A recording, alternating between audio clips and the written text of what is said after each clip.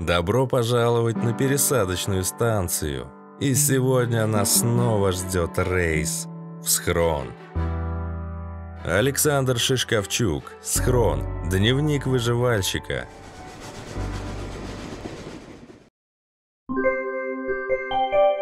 Озвучено проводником при поддержке спонсоров пересадочной станции.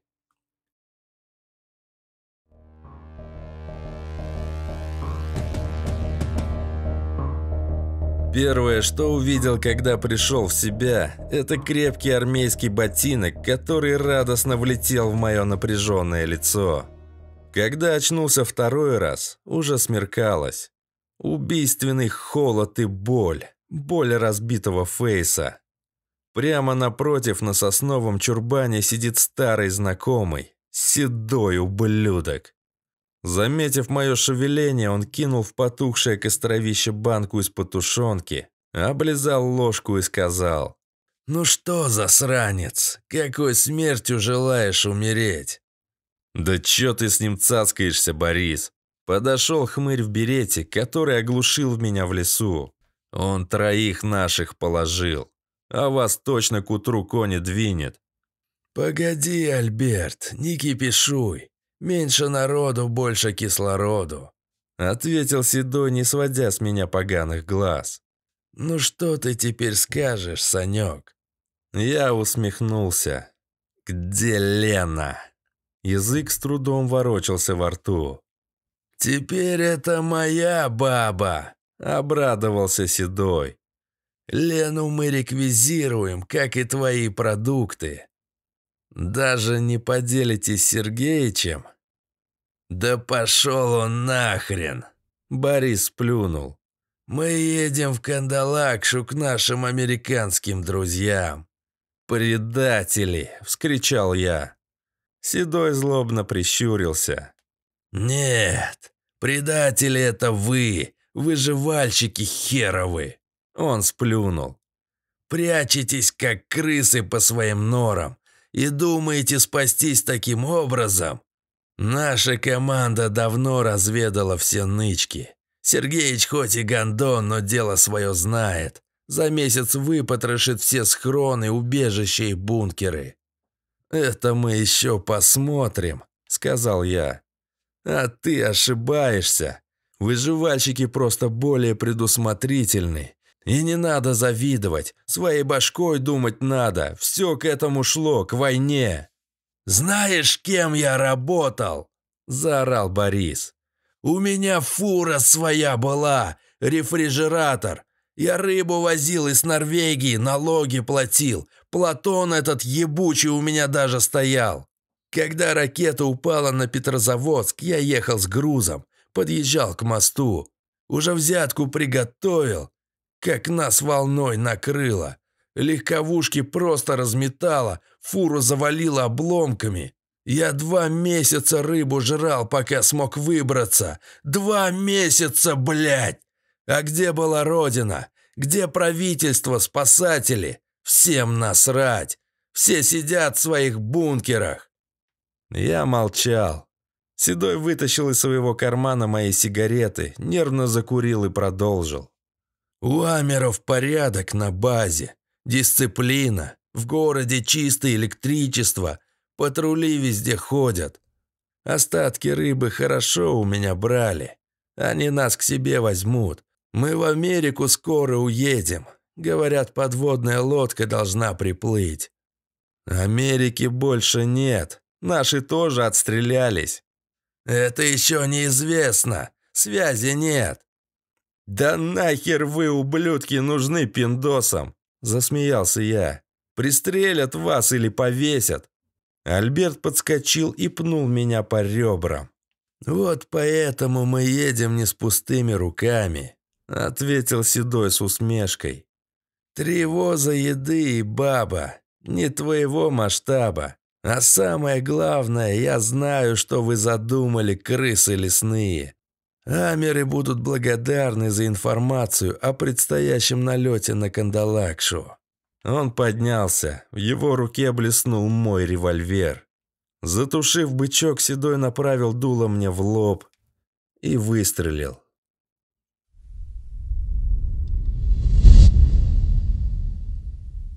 «Помогите, грабить!» Я аккуратно объезжал пробку по тротуару на своем роскошном спортивном мотоцикле, когда услышал истошные вопли этой бабки. «Сумку выхватил паршивец! Там вся пенсия моя!» Впереди удирал, сверкая пятками, худощавый тип в Олимпийке. Наркоман обдолбанный, наверное. Я вздохнул. Мое чувство справедливости не позволяло проходить мимо подобных сцен. Только бы не опоздать на тренировку по стрельбе. «Стой здесь, бабуль!» Сказал я и поставил свою Ямаху на дыбы, рванул в погоню. Может, старуха расщедрится хотя бы на косарь за мои труды. Мерзавец резко свернул в проулок. Со свистом шин я влетел за ним. На ходу достал из кармана осу. С револьвером старался не ездить, чтобы не получить проблем с законом. А резинострел самое то. Уж сколько раз он выручал на дороге. Постоянно всякие мудаки пытались докопаться до меня. Не нравилось, видите ли, что я проезжал слишком близко к их беспонтовым корытам между ряди. Когда подобный умник начинал орать, высунув морду в окно, я молча стрелял из травмата. В зеркало или куда там попаду. Я не боялся, что отберут лицензию. Трудно забрать то, чего нет. Этот ствол мне подогнал знакомый мусор. Остановившись, я уперся своими крепкими ногами в асфальт и прицелился в спину бегущего наркомана. Три раза бахнуло оружие. Проклятие. Точность у этих игрушек не ахти. Лучше, конечно, в упор стрелять. Варюга, взвыв, снова свернул за угол. Бешеным зверем зарычал мой байк. «Стоять!» — крикнул я, догоняя. «Верни сумку бабушки, у шлепок!» В осе остался последний патрон, сигнальный. Не останавливаясь, пальнул в спину. Раздался жуткий вопль. Я захохотал. На располыхающим задом прибавил скорости, перебежал на другую сторону улицы. Ну все, он меня разозлил. Дал максимальный газ, бросаясь на перерез. В этот момент возникший буквально из ниоткуда КамАЗ въехал в меня сбоку. Я пролетел много десятков метров по воздуху и ударился головой о бетонный столб. Шлема у меня не было. Не люблю летом в нем кататься, жарко очень. Да и как девчонки увидят мое волевое мужественное лицо? Пришел в себя через месяц. За окном лил серый сентябрьский дождь. «Повезло тебе, парень», — сказал мне тогда лысеющий доктор с красными воспаленными глазами. «Мозг не пострадал. Это просто удивительно. Твой череп можно было по кусочкам собирать, но мы сделали лучше. Поставили титановую пластину прямо за место лобной кости. Можешь теперь даже орехи им колоть. Ха. Какой толщины пластина? Поинтересовался я. «Тридцать миллиметров», — ответил врач. «Нормально», — сказал я и уснул. Провалялся в стационаре еще две недели. Та бабка даже навещала меня, приносила пирожки, голубцы, борщи в термосе. Я пожирал все это с адским аппетитом, ведь в больнице кормили всяким дерьмом, от которого плохо восстанавливалась мускулатура. А негодяя выловили полицейские, как рассказала мне потом бабуля. И теперь, спустя годы, этот металл в голове спас мне жизнь. Я с благодарностью вспомнил доктора, а самое главное бабку, из-за которой получил такую мощную защиту.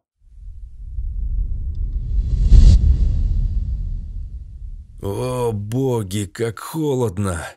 Дьявольская тьма окружала, сковывая израненное тело мертвым холодом.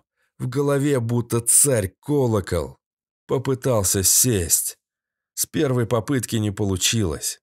Штормит, как хилого школьника после выпускного. Седой со своей бандой, видимо, давно убрались прочь. Потрогал рукой лоб. Пуля срикошетила, оставив рваную рану. Кровь уже запеклась или замерзла, пока валялся в коматозе. Что-то надо с этим делать. Слишком уж часто меня стали вырубать. Неужели я как-то подпортил свою безупречную карму? Да, наверное. Нужно было всех убить и забрать себе добро. Я надвинул на поврежденный лоб волчью шапку и пошарил вокруг. Мои вещи забрали проходимцы, а мне, чтобы выжить, нужно разжечь огонь. Расстегнул куртку и отыскал во внутреннем кармане зажигалку крикет. Ништяк. Теплая. Чиркнув колесиком, я огляделся. Снег под затухшими углями сильно просел, образуя яму. Вокруг костровища валяются несколько бревен, но я не могу их разжечь. Ублюдки забрали даже нож, которым я рассчитывал настругать щепок. Вспомнил. У меня же есть несколько страниц из метро 2033. Ну, хоть на что-то она сгодится, обрадовался я. Шатаясь, поднялся и наломал сухих веток с ближайшей елки. Изнеженный горожанин давно бы сдох от безысходности, но я не привык унывать. Я воин этого жестокого, апокалиптического мира с прокачанными навыками выживания. Набралась здоровая куча хвороста. Положил еще сверху пару чурбаков и бревно, с помощью бумаги запалил все это дело и принялся греть тушку возле разгорающегося костра. Потом нашел несколько пустых банок из потушника, в них оставалось немного жира и чуток мясных ошметков, застывших на стенках. Я напихал в банки снег и поставил к огню. Вскоре получилось несколько порций аппетитного бульона. От запаха чуть не кончил. Кажется, сейчас бы сожрал даже медведя, если б у него хватило ума выйти ко мне из мрака леса. Кстати, неплохая идея. С приходом ядерной зимы все косолапые, поди так и спят в берлогах. Надо будет поискать. Сперва раздобыв оружие, конечно. Я вздохнул. Где же сейчас моя любимая сайга и верный револьвер? Я с пустыми руками, ни еды, ни оружия, ни инструмента. И без Лены. В моей бездонной памяти возникли ее радостные глаза, когда мы веселились и дурачились в схроне долгими вечерами. А какую она варила кашу с тушенкой. Про постельные дела я уже не говорю. Лучшие минуты моей суровой и полной неожиданных поворотов жизни. А теперь я один посреди северного леса. Выпив тушеночный отвар и тщательно выскоблив банки, я счастливо рыгнул. Такой ужин всяко лучше, чем ничего. Я принялся обдумывать положение. Мысли постоянно сбивались, то ли от выстрела в голову, то ли от ярости и жажды мести. Можно добраться до схрона, в котором живет мой друг Валера. Примерно знаю, в какой стороне. Скоро выступать в поход на Кандалакшу. Там, я надеюсь, получится поквитаться с седым гондоном и вернуть моего Ленусика. Но без лыжи в таком состоянии вряд ли осилю даже грёбаный километр. Надо будет сделать снегоступы из веток. Отличная мысль. А еще утром поискать параплан. Без пропеллера, конечно, не улететь, но там же на дереве должен висеть мертвый чувак. Сомневаюсь, что бандиты сняли своего карифана. Мясо этого подлеца поможет мне окрепнуть и набраться сил. Может, у него хоть нож найдется. Геморройно будет тащить всю тушу и запекать целиком. Приободрившись от перспективных планов, я начал клевать носом и постепенно задремал. Проснулся резко от неприятного ощущения чужого присутствия. Подпрыгнул, хватая в руки полено. «Ты ебанутый?» Спросил сидящий возле костра незнакомец. Откуда он только приперся среди ночи? «Да нет», — ответил я. «Тогда положи полежка. Если б хотел убить, то перерезал горло еще час назад». Я кинул полено в огонь. Старый хер говорит логично и при этом выглядит не опасно. Одет в какой-то замусоленный ватник, на башке меховая шапка, на ногах унты. Ружья нет. Лицо лесного гостя выделяется своей морщинистостью, загорелостью и пронизывающим внимательным взглядом бледно-голубых глаз. Местный, похоже, из Карелов. «Ну, будем знакомы», — сказал наконец я. «Как тебя звать?» «Витик зовут люди», — усмехнулся дед. «А меня Александр». Потом мы сидели и кушали жареное мясо. У Витька оказалось собой немного еды. Это меня обрадовало больше всего. «Ты из поселка, что ли?» Жуя ногу лося, спросил я. «Нет». Витик закурил папиросу, угостив и меня. «Охотник?» «Нет». «А кто тогда?» «Шаман я». Сверкнув зубами, улыбнулся старый. «Я читал Кастанеду», — сказал я. «Ты, дед, не похож на Дона Хуана. Знаешь эту книгу?» «Нет, Витик не умеет читать буквы людей». «Почему? Ты не учился в школе?» «Я что, похож на ебанутого?» – заржал Витик. «У меня два внука и семь правнуков ходили в школу в Петрозаводске». «Соболезную, дед», – сказал я. «Духи забрали их очень давно», – махнул рукой Витик. «Еще когда они стали жить в городе. Это пропащие люди». «Почему пропащие?» «Потому что ходили в школу, а школы придумали плохие звери. Вы, городские люди, служите плохим зверям. Вот ты бы отдал своего сына в лагерь к зэкам?» «Конечно нет». «Почему?» Старик улыбнулся.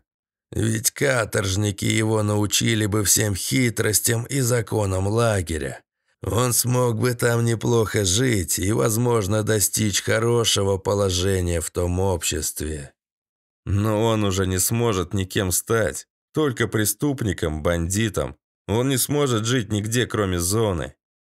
«Вот видишь», — сухо произнес Витик. «И белый человек не может нигде жить, кроме каменных коробок. Но если раньше ваша зона могла бы называться честной, где все по понятиям, то сейчас весь ваш мир – петушиный барак. Это на самом деле очень плохо, хотя и называется забавным словом – цивилизация. Я задумался, переваривая слова старого Карела. А кто такие плохие звери? Духи, нечисть. Дед сплюнул. Их можно убить. И да, и нет.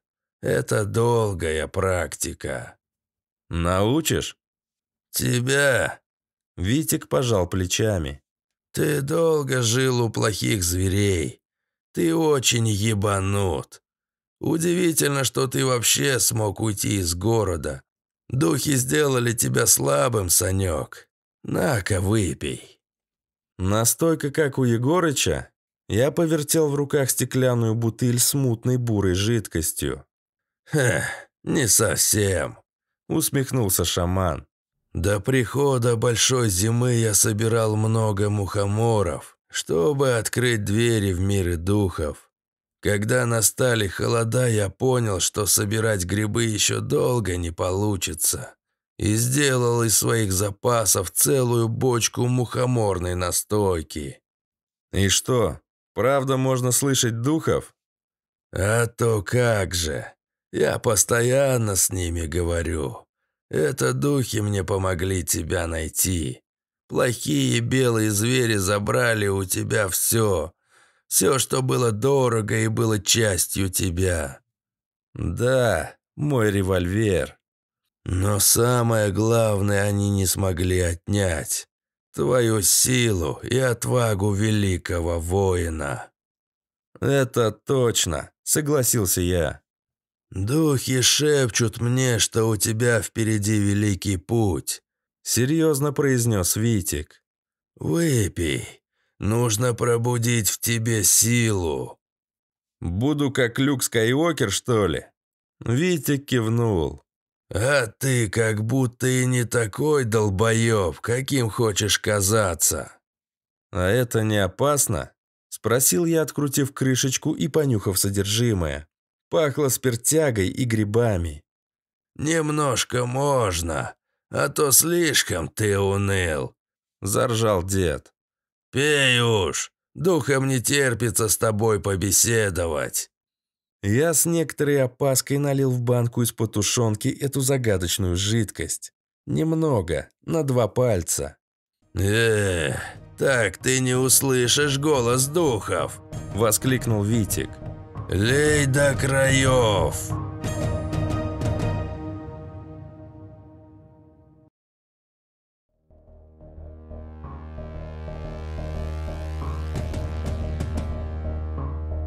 Вздохнув, последовал совету, наполнил банку доверху, передал бутыль шаману. Меня раздирают противоречивые чувства. До этого я никогда не употреблял ни ЛСД, ни грибов. Хотя всегда хотел попробовать, особенно после книг Кастанеды. С другой стороны, немного боязно, что там скрывают бездны моего разума. Но если это поможет вернуть Лену... Я зажмурился и быстро выпил жгучий напиток. Обволакивающее тепло растеклось по организму. «Вкусная штука!» Переведя дух, сказал я. «Спасибо, но что-то ничего не ощущаю особенного». «Духи приходят не сразу», — улыбнулся дед. Он тоже от души приложился к бутылке, всосав чуть ли не треть. «Так ты научишь меня убивать плохих зверей?» – спросил я. Чтобы освоить практику убийства плохих зверей, надо много убивать плохих зверей. И все? А как? Я удивился. Просто практикуй, и все. Но для этого нужно знать их повадки, да хотя бы знать, как они выглядят. Старик улыбнулся. Плохие звери неотличимы от простых людей. Они выглядят как мы, но в них живет нечисть. Скоро духи все скажут тебе». Витик извлек из котомки варган, и тишину тайги преобразили необычные звуки древней музыки. Я почувствовал странную легкость в теле. Подкинув костер больше дров, стал наблюдать за пляской язычков пламени. Зрение сделалось четким, как в HD-качестве. Боль от ран куда-то исчезла. Искры выстреливают и красиво улетают в ночное небо. Внезапно захотелось двигаться под музыку, плясать. Старик одобрительно кивнул, глядя с улыбкой на меня. Я подскочил и начал ритмичные движения, прыгая вокруг костра. Эйфория переполнила нутро. Движения доставляют настоящий кайф. Деревья вокруг закачались такт, время будто исчезло, а потом стало то замедляться, то свистеть на сверхсветовой скорости. Все так же поддергиваясь, я выскочил на берег реки. Мои глаза, оказывается, прекрасно все видят в темноте. Сказочный лес вокруг вспыхивает волшебными переливами. Это духи здороваются со мной. Я посмотрел на искристую поверхность заснеженной реки. След от снегоходов светится, пульсирует багровым светом. «Плохие звери!» Витик возник за спиной, как всегда, неожиданно. «Тебе повезло. Ты можешь начать свою практику прямо сейчас. Ха-ха-ха!» Дед, весело пританцовывая, подмигнул и протянул карельский охотничий топорик. Я сжал его в своей крепкой руке. Ноги сами понесли по следу. Догнать плохих зверей. Они точно встали на ночевку. А я готов бежать хоть всю ночь. Никакой усталости. В ушах звучит первобытная музыка северных народов.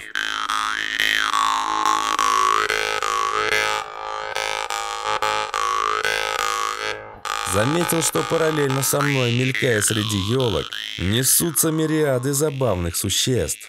Некоторые покрыты шерстью, другие разноцветной чешуей, многоногие и многорукие, с крыльями и без, многоглазые и многоухие создания. Мне не страшно. Это добрые духи. Периодически мы сливаемся разумами. Я получил энергию лесов, гор, рек и облаков. Я захохотал. Это так охуенно. Я воин, я избранный. Почти не удивился, когда увидел летящего над рекой шамана. Тот все так же играет на варгане. Каждый звук заставляет окружающее пространство изгибаться волнами, как отброшенного в реку кирпича. Я захотел лететь так же. Должно получиться. Вес не ощущается совершенно, но как ни стараюсь, выходят только гигантские многометровые прыжки. Впрочем, это тоже здорово. «Я вижу в тебе силу!» — крикнул Витик. «Спасибо!» — заорал в ответ я. «Спасибо духам!»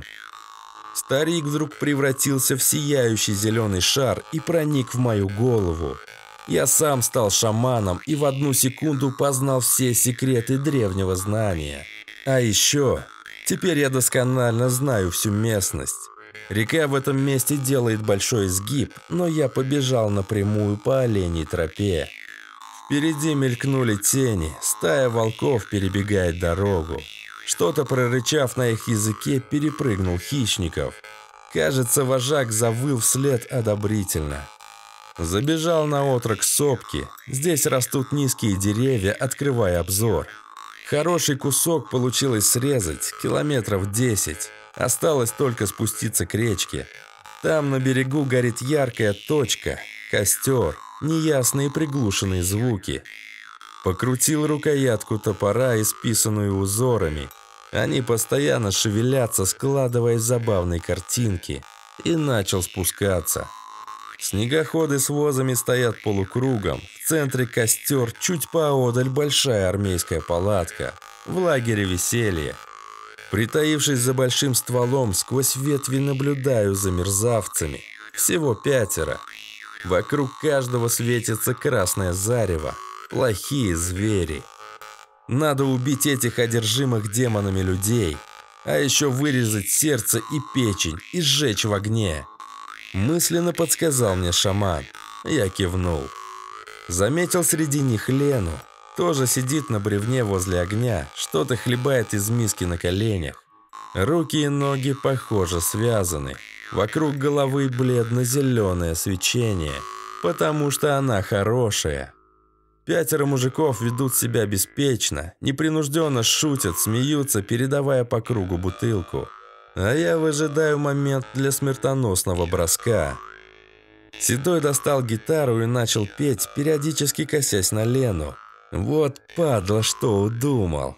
Я задохнулся от злости. Подкатывает свои седые яйца к моей любимой. «Милая моя, солнышко лесное, где, в каких краях встретимся с тобою?» Хрипловатым баритоном допел Седой и красиво бацнул по струнам. «Борис, ну что за отстой?» произнес кто-то из банды. «Сыграй лучше фантома или истое что-нибудь». «Да подождите, ребята!» воскликнул, отмахивая Седой. «У меня сегодня лирическое настроение. Для нашей милой гости Леночки я бы хотел исполнить эту замечательную песню Олега Митяева». «Я бы послушала», – захлопала ресницами Лена. «Блин, Барт хренов!» От немедленного массового убийства удерживало только любопытство. Что за песню будет петь придурок? Седой провел пальцем по струнам, кашлянул и сказал. «Блин, что-то не строит. Кто трогал инструмент? Кто тут что крутил?» «Борис, ты же знаешь, никто не будет брать твою гитару», сказал Альберт, кажется. По всей видимости, от перепада температур струны вытянулись. «Да, ты прав. Извините, друзья, я сейчас». Седой принялся дзенькать, подкручивая колки. Я начал подкрадываться ближе. Бесшумно, как лесной кот. Духи вились вокруг, подбадривая меня.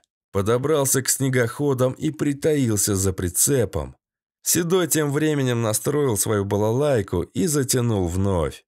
«Изгиб гитары желтой ты обнимаешь нежно. Струна осколком эха пронзит тугую высь. Святые угодники, как же он фальшивит! Мой усиленный шаманской настойкой слух больше не мог выносить такое издевательство. Я медленно поднялся из своего укрытия, размахнулся. Силы северных краев вели мою руку. Музыка прервалась, когда остро заточенное лезвие топорика вонзилось в лоб седого паскудника. Красное свечение вокруг него замерцало, поблекло и угасло. Лена заверещала, как дурочка. «А, Шухер!» «Борис, нет! Он там, мочи суку!» «Где, блин? Я ничего не вижу!» Козлы повскакивали и принялись палить из всех стволов во тьму. Но я уже в другой стороне. Духи шепчут мне, где лучше укрыться. Один бандо стоит дальше всех от костра. Неслышно метнулся к нему сзади, выхватил нож из его ножен и, дернув назад башку, перерезал горло. Хлынувшие брызгой крови полетели светящимся веером. Чуть не залип от этого зрелища. Тело упало к ногам. Это был Альберт. Минус два. Забрал его Ремингтон. Неплохая волына, сгодится. Смерть два раза вылетела из дула. Еще пара любителей чужого добра свалились с дерганием и воплями. Минус четыре. Последнему негодяю в черном пуховике с капюшоном не досталось доброй пули. Патроны кончились. Тараща на меня испуганные глаза, он медленно разворачивал помповуху. Швырнул в него бесполезное ружье, чтобы отвлечь, и прыгнул в сторону. Злой заряд картечи просвистел мимо. Подскочив к Борису, я выдернул топор из его башки. Проходимец в капюшоне успел передернуть помпу и нажать на спуск. Выстрела не было. Взвыв, он бросил ствол и побежал прочь. «Мы уезжаем сейчас», — сказал я Лене. «Куда?» Она подняла заплаканное лицо. «В смысле куда? Домой, в схрон». «Я боюсь. Вдруг они придут снова. Ты разве можешь меня защитить?» «Так защитил же. Что ты сомневаешься?» Спросил я, показывая на трупы. «Ну или здесь оставайся». «Нет, поехали», тут же сказала она. «Подожди, сейчас ступай в палатку и собери все, что может пригодиться в хозяйстве». «А что, я одна пойду?» Насупилась Лена. «Пошли вместе, кто мне будет помогать?» «Мне здесь надо закончить дела. Пять фрагов завалил, а лут не собрал». «Чё?» Не врубилась девушка. «Ничего, иди давай». Недовольно бурча под нос, Лена потопала в палатку. Я с теплотой смотрел след. Как же, оказывается, соскучился по ней. Сначала обшарил всех пятерых мертвых разбойников. У Седова отыскался мой револьвер. Сердце чуть не выпрыгнуло от радости. Поцеловал верное оружие и убрал в карман. У других нашлась всякая мелочевка, не стоящая внимания. Потом ножом вскрыл каждого мерзавца и вытащил сердце и печень. Бросил в огонь. Во славу духом зимы! В пламени мелькнули чудовищные лица. Монстры закорчились, сгорая. А костер взвился метра на три. Я победил плохих зверей. Внезапно навалилась усталость. Как будто силу тяжести прибавили раза в два. Тяжело ступая, собрал все оружие и упаковал в прицеп. «Лена!» — крикнул я. «Ну ты где там?» «Поехали!» «Я иду!» Подбежала она с рюкзаком. «Вот, собрала еду из палатки. Еще... Ой, а что ты с ними сделал?» «Все нормально, не переживай». «Ну почему ты такой жестокий, Саша?» Я вздохнул и привлек Лену к себе. Мои губы впились с особой жадной страстью. Если бы не усталость, овладел бы ей прямо сейчас. «Садись на снегоход», — сказал я, прерывая проклятые нежности. «А ты куда?» «Я поеду на другом». «Но я не умею». «Тут ничего сложного, смотри. Вот так нажимаешь, это газ. Здесь тормоз». Завел ее машину. Лена с причитаниями, рывками, но все же поехала тихонько по кругу. Я показал большой палец, молодец, мол, и закурил. Еще пару снегоходов загнал в лес. Вернусь за ними завтра. Еще не смотрел, что в обозе, но наверняка куча ценного. Запрыгнув на другой, на Ямаху, я медленно обогнал Лену и повел наш маленький караван схрону. Поскорее бы затопить печку и выспаться, наконец, в нашей кровати. Окружающий лес принял нормальный вид. Вроде отпустило, но хорошее настроение и спокойствие остались. Надо будет разыскать потом старика с его волшебной настойкой и за помощь отблагодарить.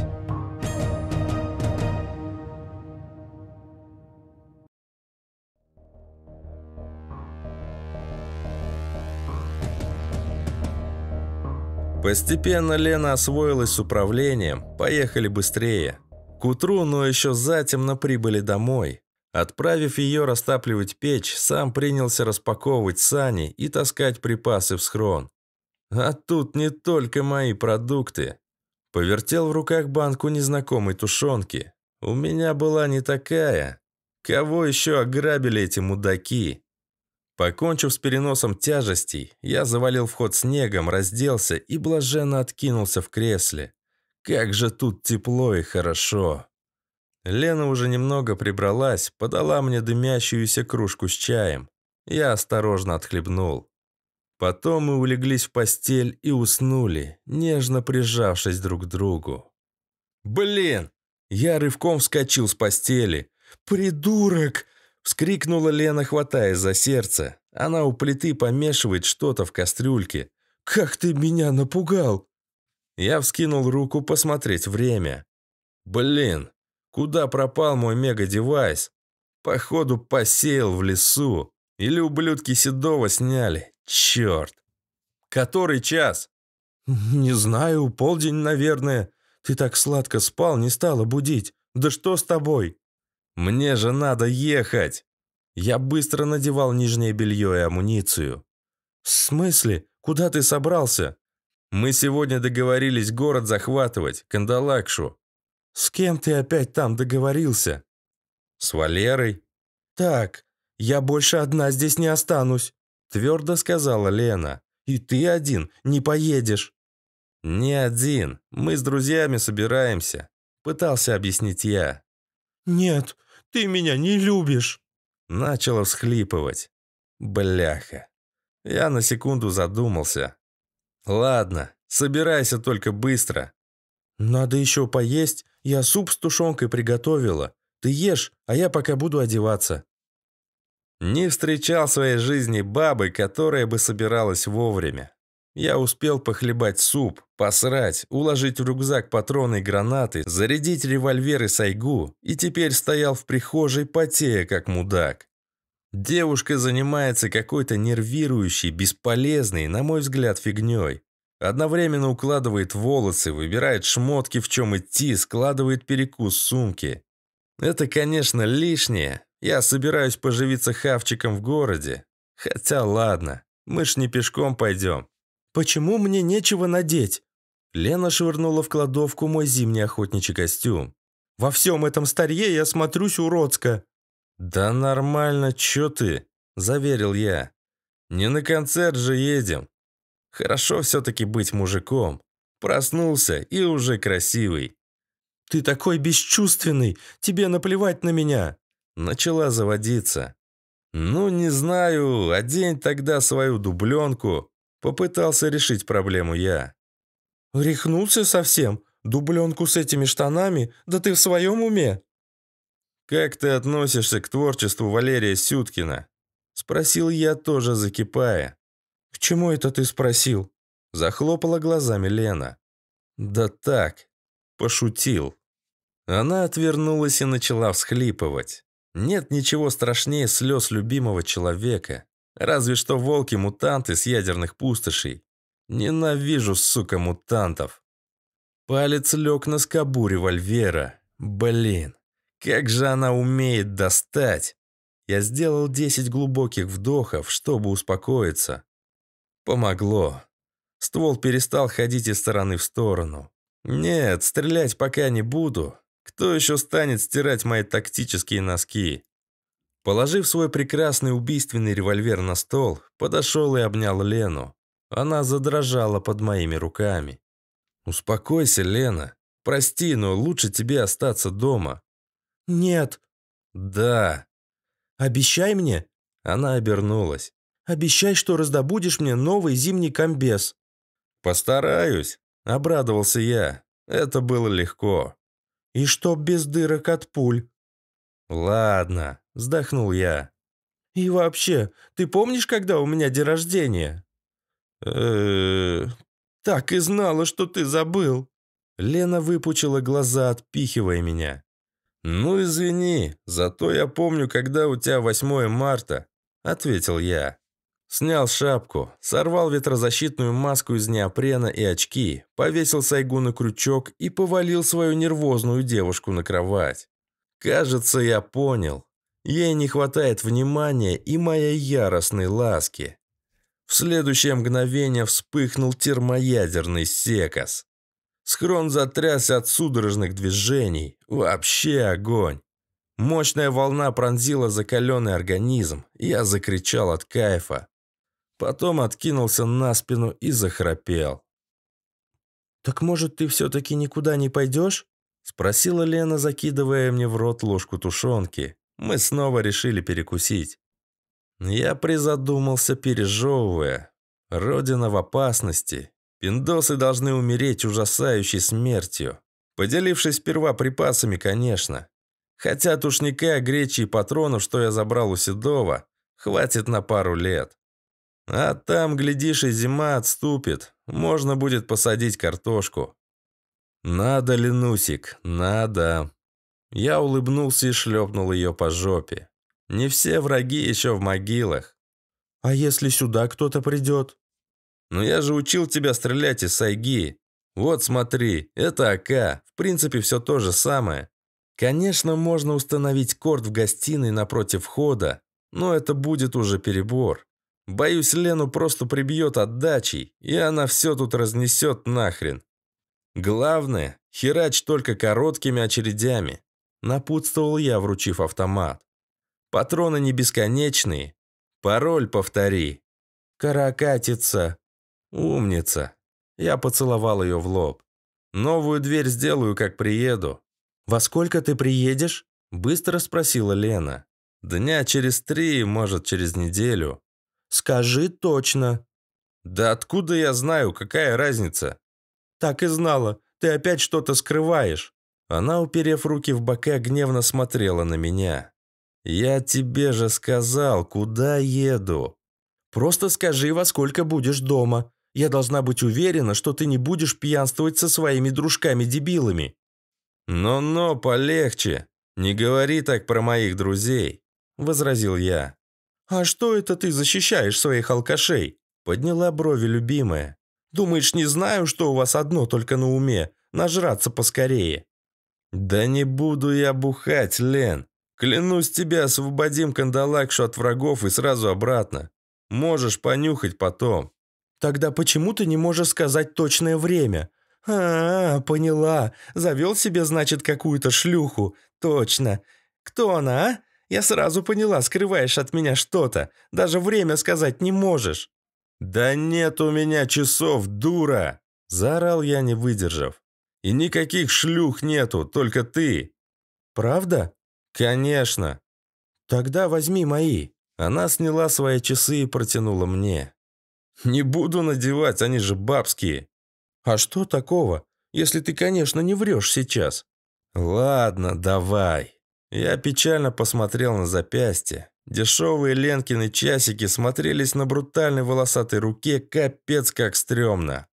«Итак, когда ты явишься домой?» Торжествующе спросила она. «Через три дня», — сквозь зубы ответил я, — «в 20.00». «Точно?» «Да». «Хорошо, поверю тебе в этот раз». «Готовься к приезду, борщица за бабахой», — велел я, натягивая шапку. «Посмотрим». Блин, я выбрался наружу и надел варежки, чтобы не видеть грёбаных часов. Вот она, любовь, черт бы ее подрал. Думал я, сливая из одного снегохода топливо.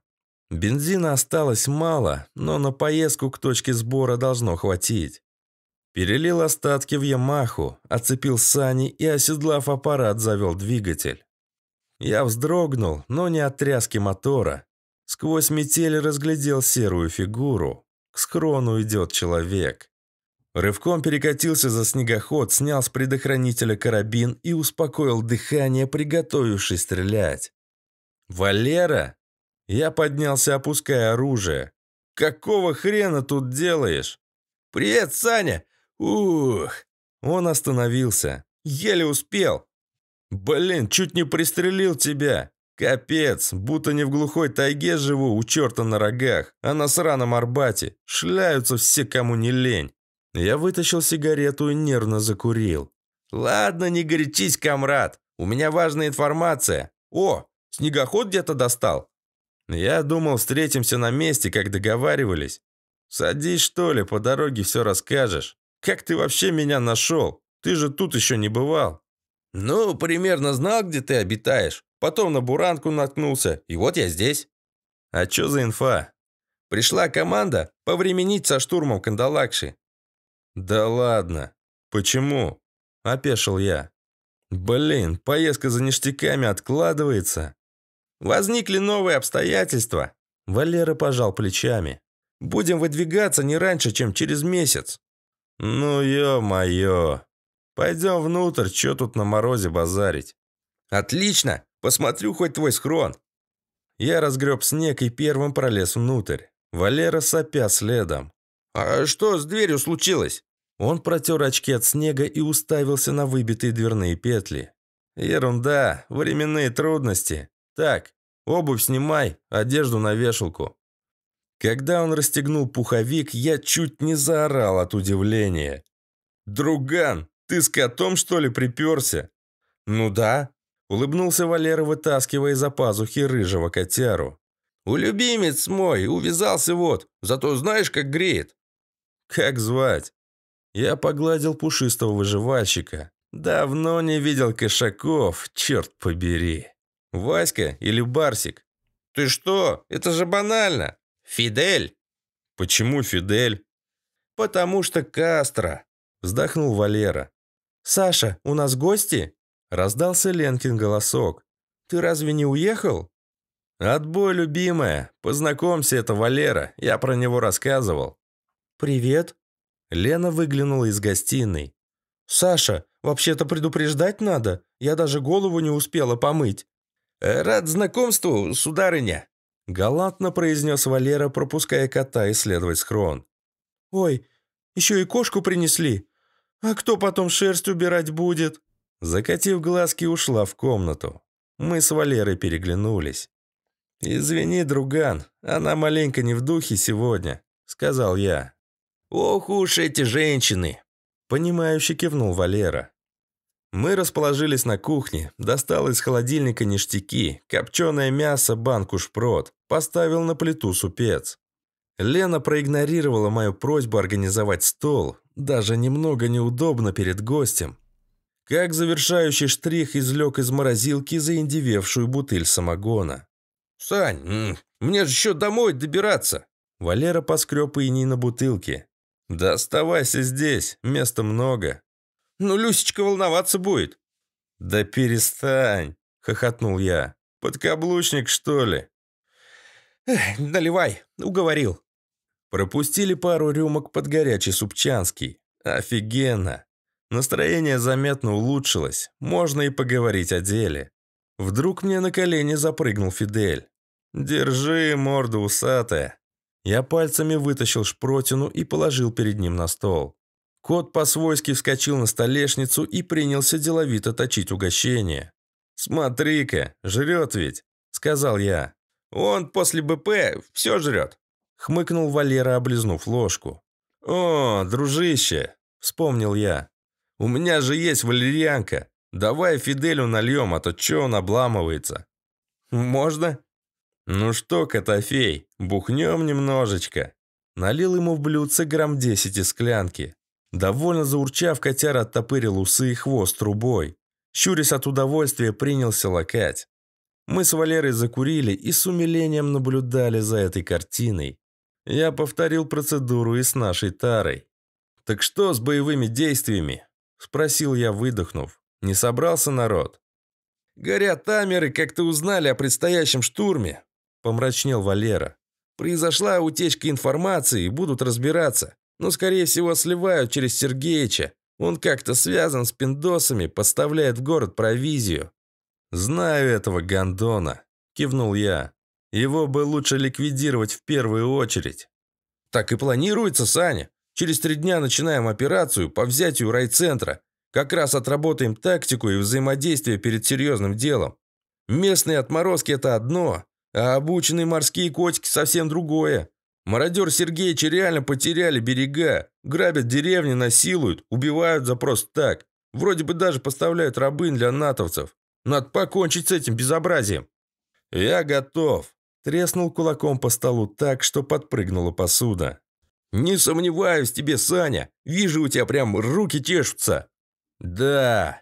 Чокнулись и немедленно выпили. «Вы можете так не орать?» Заорала из комнаты Лена, затем сунула нос на кухню. «Фу, ну и вонища, накурили. Саша, ну ты же обещал». «Ладно, Ленчик, не переживай. Вентиляция все всосет». «Уже нажрались, господи!» Я предложил спуститься вниз и там продолжить обсуждение тактических планов. Валера, качнувшись, подхватил Фиделя, который совсем не мог идти. Я взял бутыль и закуску. Валера удивленно присвистнул, когда увидел ретек. Предложил поменяться на 400 банок тушенки, но я отказался. Ишь, какой ушлый айтишник. Тушняк сожрал и все. А энергия – это жизнь. Выпили за энергетику. Кот вроде оклемался. Пошел исследовать запасы моей кладовой. Только б не насрал. «А там что?» Валерыч топнул люк. «Вход в преисподнюю». Я дернул рюмашку и запил шпротным маслом. «Ну вот нахрена ты спросил на ночь глядя?» э, «Ну не серьезно? Вижу, трубы какие-то идут вниз. Колодец или септик?» «Мля, дружище, не спрашивай. Что-то не открывается, Саня. Можно мне посмотреть?» «Нет». «Почему?» Я заварил люк. Нелогично. Замотал головой Валера, подошел к столу, закинул порцию. Если есть люк, значит он должен открываться, не? Он истерично заржал, когда я рассказал о темном ужасе, таящемся в подземелье. Меня это задело. Валера считает, что мне все померещилось от страха. Ну, конечно. Сейчас посмотрим, какой ты смелый. С трудом нашел болгарку, в глазах изрядно двоится. Под ногами мелькало оранжевое пятно. «Отойди, Фидель, а то останешься без хвоста». Хороший сэмчик получился. Надев очки, воткнул инструмент в переноску и, отодвинув Валеру, принялся срезать сварной шов. «Пусть сам поглядит в эту яму», — с усмешкой подумал я. «Блин, вы что, совсем сдурели?» Сверху прибежала Лена. Я уже спала. Саша!» «Любимая!» Я улыбнулся, сняв очки. «Все хорошо. Надо проверить канализацию». «Нашли, чем заниматься среди ночи». С недовольным видом она убралась обратно. Я подмигнул Валере. «Готово, друган, смотри». Прикурив сигарету, стал смотреть, как Валера кряхтит, пытаясь подцепить пальцами край люка. Эх, айтишник. Совсем не дружит с физической культурой. Я подошел, одной рукой спокойно поднял железную пластину. а а а Твою мать! Что это за хрень, Саня? Летучая мышь! Крылатая бестия закружила по комнате. Мы с Валерой облегченно выдохнули и расхохотались. Фидель из вальяжного кота вдруг превратился в стремительного хищника. Он так угарно мечется, прыгая по стенкам и полкам, что у нас слезы потекли из глаз. Бедная летучая мышь, видать, поняла, что скоро станет закуской нашего четвероногого друга, и, совершив мертвую петлю с обратной полубочкой, спикировала в черный зев колодца. «Нет!» – закричал Валера, хватая за сердце. Тоже ничего не успел сделать. Безумный кот огненным метеором скрылся в глубине. Я посмотрел на Валеру. «Хана Фиделю! Нужно выпить за упокой пушистого!» «Нет, чувствую, он жив», — твердо сказал Валера. «Идем за ним». «Бля...» Я заглянул в холодный ухмыляющийся мрак и нервно сглотнул. «Только ради тебя, дружище».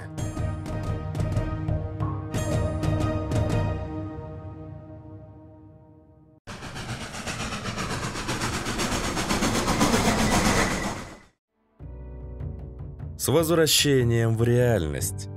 Если вам понравилось наше безумное путешествие в мир схрона, то обязательно поставьте лайк, напишите комментарий и поделитесь этим видео в социальных сетях.